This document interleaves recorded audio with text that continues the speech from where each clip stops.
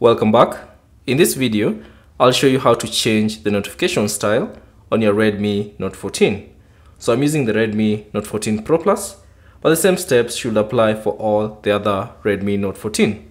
So once you swipe down from the top left corner, you'll see how your notification style looks like. So you can change this from the device settings. So simply open settings, and then within the settings, scroll down and select notifications and status bar. And then within the notification settings, all you have to do is simply tap on notification style. Now you can see the two options. So there's the Android and the Classic. So once you swipe down from the top left corner, you'll see your notification. So this is the Android style notification. Now if you select Classic, you can simply swipe down and now you'll see the Classic notification style on your Redmi Note 14. Now choose the option you prefer, so either Android or Classic. And once done, your changes will be applied.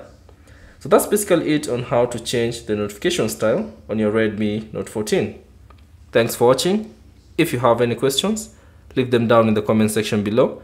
And if you found this video useful, consider leaving a like and subscribe to the channel.